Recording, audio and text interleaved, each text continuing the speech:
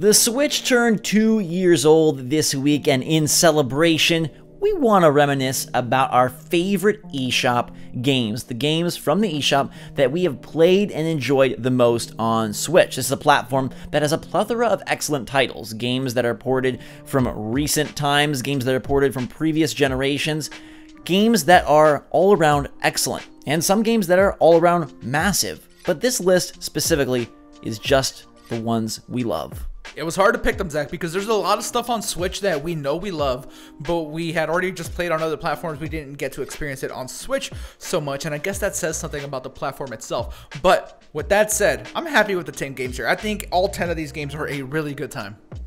I'm just happy with the eShop in general. I know that there are a ton of games there, and the excess can be a problem for some people. But in combing through the catalog, I really like a lot on the eShop, and it could be organized better. Yeah, maybe there could be more tentpole programming, and it feels like year one for us was stronger maybe than year two. We've got three games from year two and seven from year one on our, our top 10. But I really am happy with how things have gone, and so are developers. We've seen in recent days lots of articles highlighting how good this platform has been to smaller game dev studios. Yeah, that goes without saying. I have seen developers and many people have seen developers say like hey like we sell way more on switch than we do on any other platform and that needs to be applauded. It's become a really good platform honestly. Yeah i, I really I, I, just enjoy it. I like it a lot. I, I obviously dream of themes. I dream of a, a better hierarchy to highlight the prioritized titles, but I love it and I love these 10. So let us know in the comments down below your favorite eShop games of the first two years. Hit that like button if you enjoyed the video. And without further ado, this list is in alphabetical order. Ranking these would be nigh impossible because it's all about feel and love, Gabe. And that is something that is hard to qualify. How do you feel about the first game on our list being something that I love, Zach? Ape Out. It's the most recent addition to the list. That's kind of cool. Yeah, this game literally came out a little bit ago. It just squeezed under the year two banner, and it's the most recent title on our list, one of the most recent titles on the platform, and it is darn good. Yeah, I always thought that like visually it was like super striking, and I, I forgot like what artist it was, but there's like these like old school movie posters for some like Hitchcock movies that this reminded me of, and I fell in love with it right away, just visually. And then on top of that, the music is like really cool, and it's like procedurally generated, where every anytime you like defeat an enemy or kill an enemy, it like has a percussion or a like synthesizer like kick in. It's like super awesome the way that works. The soundtrack is something I actually like listen to a little bit, just like when not even playing the game, when just like wow. editing and stuff. So fun little fact there. And uh, you mentioned it and you described it in the perfect way possible. This is like Donkey Kong if Donkey Kong was made by someone that was a Nintendo. right, or if he got frustrated that Retro isn't making another new game and he busted loose and he went a little bit crazy. We don't want to spend too much time describing these games, more just the feeling that they, they gave us as we played. And this one really was a warm, fuzzy feeling. It made me feel like I was on vacation. And it really reminded me of the early days of Switch when there were just these unique titles that maybe weren't massive in scope, maybe didn't have a huge team or a lot of notoriety behind them, but it's just a game made by a Gabe. Literally it's it's made by a guy named Gabe. And it has a charm and it has a polish that I, I don't know I just I really associate it with the early days of Switch and it's fun it's challenging it doesn't try to do too much or bite off more than it can chew. It just lets you go ape out for a little bit and it's a really recommendable experience. Yeah I have to agree with you let's go to Astro Bears Party game that I love it may not again be an award winner, but it has won our hearts at Switch Force. It is always on the cheap. It's probably the best cheap game that the Switch has, and it's freaking phenomenal. It's such a silly and and at times stupid concept of these bears. I don't know. Is it spaghetti? Is it is it thread? Is it just imaginary lasers? What are they spreading around these planetoids? I don't know. But it's some of the most multiplayer fun I've had on the system. Can I call you out on being a fake Astro Bears fan? Because the name of the game isn't even Astro Bears Party anymore, remember? Like they're changing well, it. Not yet, dude. It hasn't happened yet. It's about they're, to happen. They're about to they're about to upgrade to just straight on Astro Bears or downgrade. I guess depends on how much you enjoyed the party. Uh, but it's going to see a price hike it's also going to see a lot of new content, which I'm very excited for. As long as you have a sensibility for lighthearted fun, you got to give Astro Bears a try. The, the, the gameplay is sound, the style is questionable, but the fun is undeniable. Gable, to move through the letters. We're out of the A's, got no B's. We do have a C, though, and that's Celeste. The best game on Switch. That's the B right there. Debatable. D. we got our own Sesame Street show kicking off here with with uh, the, the letters of the day that equate to different uh, facts about the Switch. No, it, whether it's factually the best game or not, it's absolutely incredible. I love it a lot, uh, and it deserves every top spot, every second spot. It, it's just it's amazing, and it made both of us feel wonderful. Well, wonderful might not be how I describe how I felt when playing it, though. There was like points where I wanted to cry. The, the, Okay. the game made me think about myself a lot. And, you know, I've said this before, right? But the, the themes of like self acceptance and, you know, some mm-hmm. mild depression. I don't know how mild it is in, in Celeste, but just being unsure of yourself and things like that. That game touched me. Like, and for a, a platformer to like touch me like that, it was the most unexpected thing ever on Switch, and that's why I, I, say it's the best game of Switch. It's not the best me. I mean, Smash. There's a lot of great stuff on there. Let's let's say this: it is the best eShop game. yeah, it is. It is my favorite game on Switch. It's our favorite yeah. eShop game. yeah, sure. If we had to crown a king or a queen of the eShop, it would be Celeste. You know what the game's about. I can't wait for the new content. It's just, it's magical. It's perfect in nearly every way. And how many games can you say that about? Hardly any. Let's go to one game that I was super excited for coming to Switch. And I played more on Switch than anywhere else. That's Enter the Gungeon. I think it is my favorite roguelike on the Switch. I know that's a genre that you're not super into, Gabriel, but this one is so good. Bullets as enemies was a brilliant idea. Crazy guns was a brilliant idea. Putting it all together with polish and fun and replayability and difficulty makes this one of a kind. This game really stresses me out. It- it's, it's Why? It's so frantic. Like there's just like constant like aggression towards you. Like it, there's never like a time of reprieve like at all. Yeah, there, there's some rooms where you can just chill and shop and, and take it easy. Yeah, I know, but when you're actually like playing, like it's just like Gotta be on your toes, man. yeah, you're being bombarded with, with again constant aggression. I, I mean, I, I think it's a really fun game. I approve of it. I love it, and it definitely belongs on the list. But uh, yeah, man, it's a stressful game for me. Price wise, it works wonderfully. Stylistically, I think it's super charming. Gameplay, very polished. Uh, there are some other games in the genre that get more play on the, the radio waves, but I would put uh, all my marbles behind this guy. Next, we have my second favorite game in this genre on the platform, and this one definitely does not get mentioned often. I feel like everyone knows about Enter the Gungeon, even if they don't love it. But Flinthook is actually a stellar time. I find it to be very addictive, and I think it merges elements from a bunch of other roguelikes and creates its own unique beast that is very addictive. When you say this is your second favorite game of the genre on Switch, and then the genre happens to be roguelikes, you know it's an amazing game because there's like 3,068 roguelikes on eShop. so this being up there in the top two for you, that that definitely says something. I, I didn't play Flinthook on Switch as much as I would have liked, but I always hope to because it's so pretty to look at and it looks just like so fun. And this looks kind of like the opposite of Enter the Gungeon, where like that one is just like so chaotic, and this one has a lot going on as oh, well. Oh, this one's chaotic too. Yeah, I, I know it is, but I don't know. Maybe it's it, it's all in my head because I haven't played it as much. It's just like a little less chaotic. It's the right type of chaotic for me. I love that you described the Switch eShop as having like 200% roguelikes. Like of all the games on the eShop, 200% of them are roguelikes. It's, That's what it it's feels a like, thing.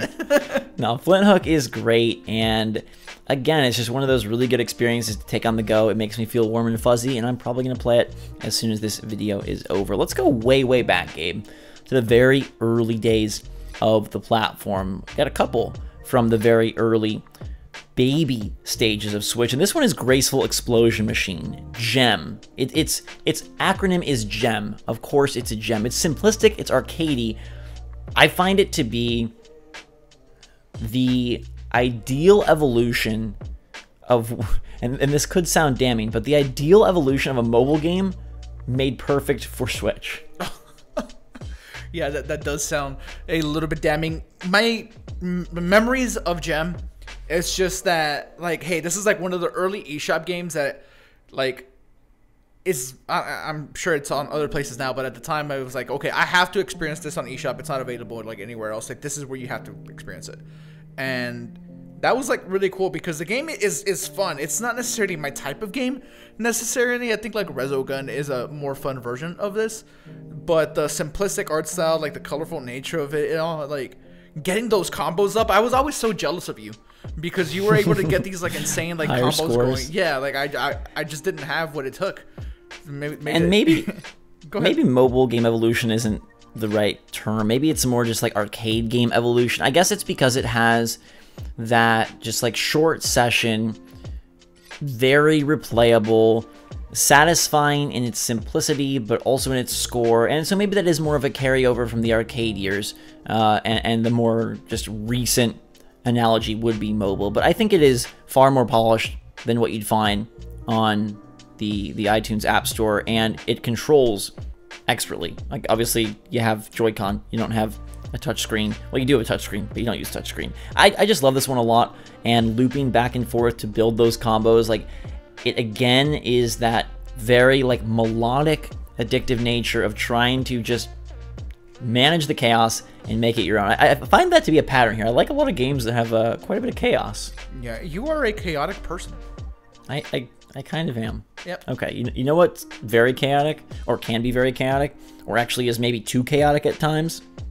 I don't know. The next game, Mega Man 11. This is a hardcore side scrolling platformer that brings absolute mastery to the Blue Bombers franchise. Once again, they have done him so much justice here, and we love the heck out of this on Switch. I know the hardest of core Mega Man fans didn't like the new gameplay like elements like having to like speed up and, and do the power boost like the gear system wasn't for everyone. I really appreciate it. I thought it was a good way to change up something that has been done a certain way for a very long time. The art style was something that took a little getting used to but once i did i really dug it as well. The uh, Robot Masters were not as strong this go around than they have been before, but it still provided so much fun. Playing it, I felt like I was a kid again, playing through Mega Man like 5 and 6 as a kid. So, yeah, Mega Man 11 definitely did for me. That was a big year for Mega Man because we had the uh, X collection come out as well. And I know you were really, really excited to play through that. Ice Penguin, your nemesis, I'm sure you fought him a couple more times. Yeah, Mega Man 11 is, is really, really cool. And it goes on discount every once in a while, so definitely pick it up when you still can. Yeah, it's very challenging. I mean, people like describe Enter the Gungeon as hard, Celeste as hard. For me, like Mega Man 11 is probably the hardest game I played on Switch. For me, It's it's not that hard, guys. He, he's just bad at Mega Man. It's okay. guess, Yeah. guess.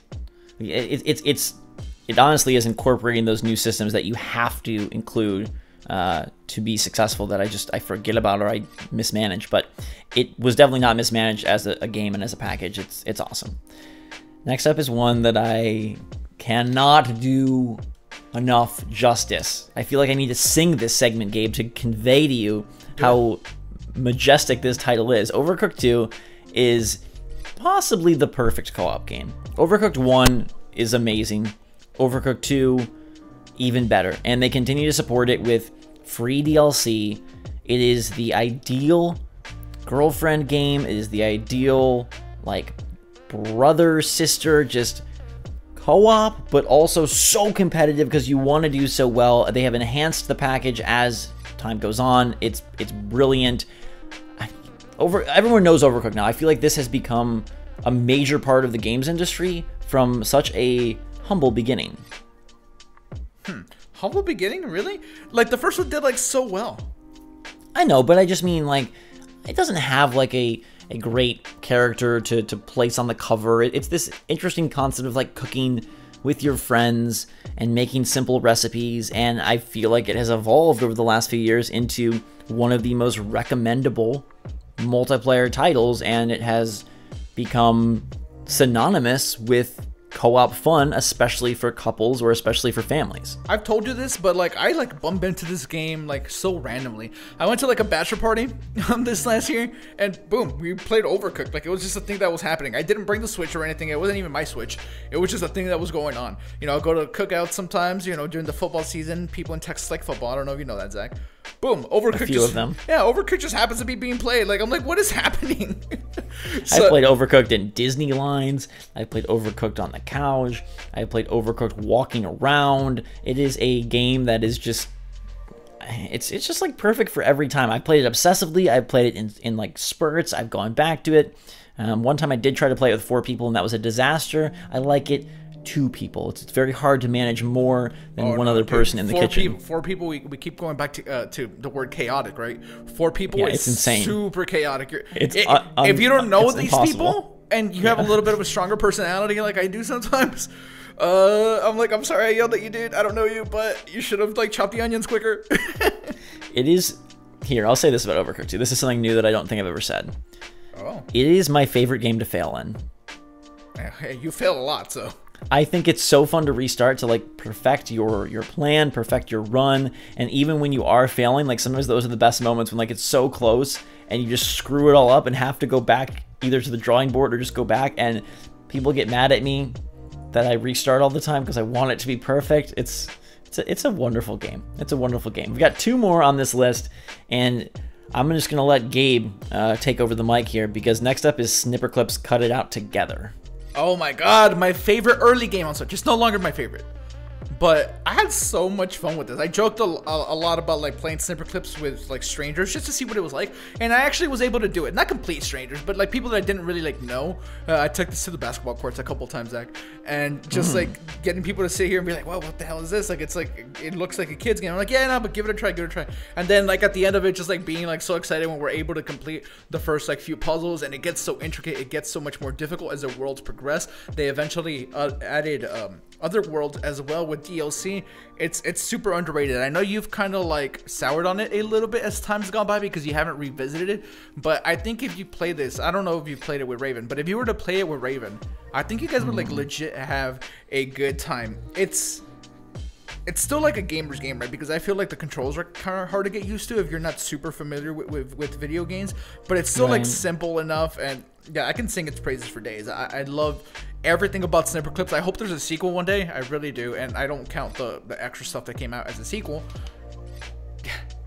Yeah, this one brings back so many memories. Even just you, me, and Jake playing it together uh, in the yeah. first day of, of Switch being out. That was so awesome.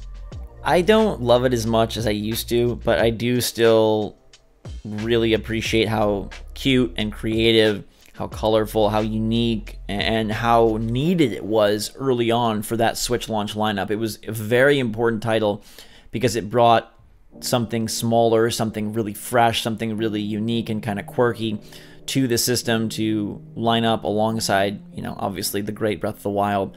Um, but some of the other titles that may not have been as inspired or as exciting. And this one really caught, I think, everyone by surprise. It was a great project for Nintendo to invest in. Um, and you're right. I hope that they either do a sequel or build upon the idea or just take that concept uh, to some place we can't even imagine yet. It's a lot of fun. I did have a ton of fun with it. Um, I don't know why I've soured a little bit, but maybe it's just because of the quality of some of the other titles. But yeah, it I can't deny that Snipperclips is awesome and, and deserves a spot on this list. Our final game, Gabe, for our 10 is SteamWorld Dig 2. It is last, but it is definitely not least. And I feel like this game really helped thrust Image and Form into the elite tier of indie developers. Obviously, SteamWorld Dig 1 and SteamWorld Heist were awesome packages, but SteamWorld Dig 2 is incredible. And now we have a situation where the next game, SteamWorld Quest, people are just so hungry for because they know the caliber of titles that this company is capable of putting out. I wish the game were a little bit longer. I wish there were a couple more like boss battles in it. But yeah, you can't deny the greatness of, of SteamWorld Dig 2. When I'm just like left wanting more, that's probably signs that you have a pretty good game on your hands. And yeah, you're right. I'm super excited for Quest. I didn't even like, not that I didn't like Image and Form, but I, I didn't love them as much as I do now uh, before Dig 2. That's what did it for me. Like once like I played this, I was like, man, like they really know what's up. Like they're not missing. Like they're swinging and they're knocking these out of the uh, out of the field constantly. It's home run after home run with them. Yeah, and it's a game that feels so good in your hands. It controls so well. It's just very natural. You don't you don't question like, ooh, is this off or ooh, could this be better? It's in that way. It reminds me of Celeste. Celeste is a, a superior title, and Celeste does a, a lot uh, differently. But I just love that you get in and you just play it and you play it and you play it and you play it and then you want to play it more. That whole concept of going down and up and cashing in, like yeah, it's rewarding, it's fun, and I love that the gameplay is super satisfying by itself, but then all of the systems just reinforce what's already great. So it's it's awesome. I'm a little nervous, honestly, about Quest, because I think going from I mean, they've kind of alternated like this. Like SteamWorld Dig was was very action oriented, and then Heist was a little bit more uh, slow paced. Dig 2 back on that heavy action platformer uh, mindset, and now Quest going like card turn based. Um, I hope that they're able to still keep it fun and fast and fresh. So we'll have to see if that one can hit our list uh, when we do this again for year three. Yeah, I'm not worried about it at all. I have I have faith in them. Good. I have faith in the eShop because looking back has proven to me that we've got a lot of great stuff on eShop, and we didn't even touch on all of the games that have come from other platforms that are maybe even the best iteration on Switch. And we didn't touch on huge titles like Fortnite or Hollow Knight, uh, Shovel Knight, all the Knights. You know, that's a separate category, I feel, on eShop. um, there's plenty of really great games like Into the Breach that we just didn't really experience on Switch. So we wanted to deliver a list that was, hey, the games that we played the most and enjoyed the most on Switch from the eShop over the course of the first two years and those are the 10 that you heard us just discuss. Let us know which eShop game is your favorite in the comments down below. Hit that like button if you enjoyed the video. Thank you so much for watching. Here's to another awesome year of eShop action. Hopefully a bunch of awesome years of eShop action. They definitely will keep the, the quantity of titles coming. Hopefully they keep the quality as well. In the meantime, everybody have a fantastic day. Thanks so much for watching. For myself and Gabe, Switch Force out.